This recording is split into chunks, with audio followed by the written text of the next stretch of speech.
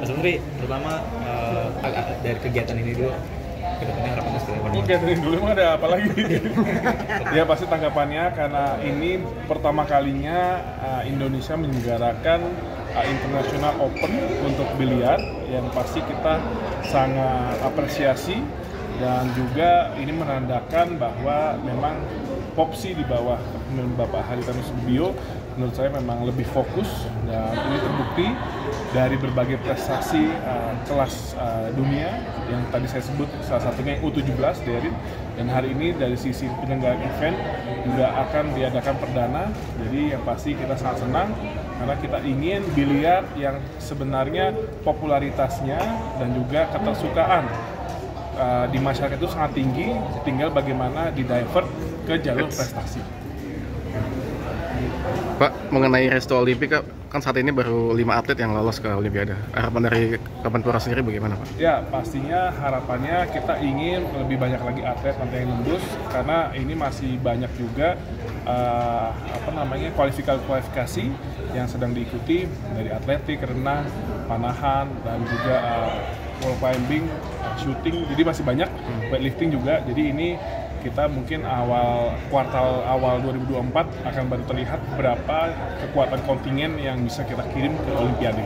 Pak di akhir tahun ini udah puas belum Pak dengan lima atlet yang udah lolos ini Pak? Ya kita syukuri, tapi memang dari perhitungan harusnya bisa lebih banyak. Hmm. Uh, harusnya di kuartal awal 2024 itu uh, kualifikasi kualifikasi akan diadakan banyak. Hmm. Kalau kemarin ada host Piala Dunia bareng Singapura gimana Mas bisa Ya, jadi uh, yang tahap yang hari ini sudah dilakukan adalah uh, perta, uh, per, uh, tanda tangan kerjasama antara PSSI dengan FAS Federation uh, sepak bolanya Singapura ya. Uh, ini setelah itu dilanjutkan letter of intent ke FIFA dan saat ini sedang dalam uh, penggodokan antara Menpora Singapura dan juga Menpora Indonesia. Maksud saya. Jadi sekarang kami sedang menunggu dari pihak Singapura karena baru kemarin sore uh, antara Federasi Singapura dan uh, Kementerian Pemuda Olahraganya Singapura itu untuk rapat visibility-nya dan ini nanti akan ada rapat resmi gabungan. Kapan rencananya Pak? Rapat gabungannya? Uh, mungkin minggu depan karena kita menunggu dari pihak uh, Singapura. Harapannya apalagi sih Pak? Maksudnya untuk bisa maksudnya mendeklarasikan bahwa kita kerjasama gitu maksudnya? Oh pastinya uh, secara government nanti ada kesepakatan resmi antara uh, government to government.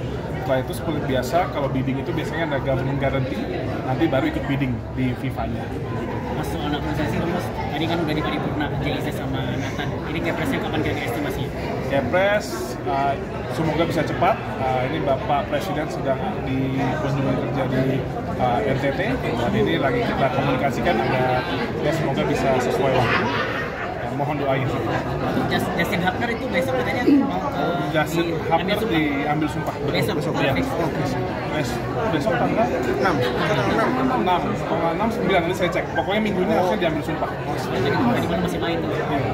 tanggapannya terkait kerusuhan supporter Liga 1 ini Bang? Hah? Tanggapannya terkait kerusuhan supporter Liga 1 Ya, ini lagi-lagi memang kalau supporter kembali lagi memang ini suatu hal yang sedang kami cari cara yang paling efektif.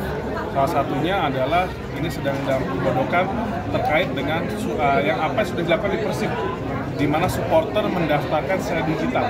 Nah ini salah satu langkah, tapi yang pasti dari sisi psikologi supporter juga harus ada pendampingan dan harus ada edukasi yang lebih dalam lagi. Ya pastinya kita banyak simpul-simpul supporter itu sering kita ya secara kultural kita ajak untuk saling menjaga.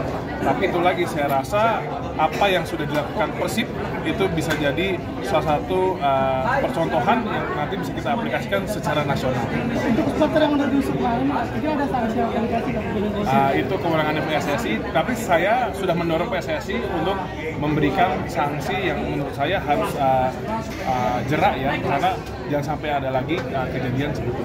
Terima kasih Mas Yasna.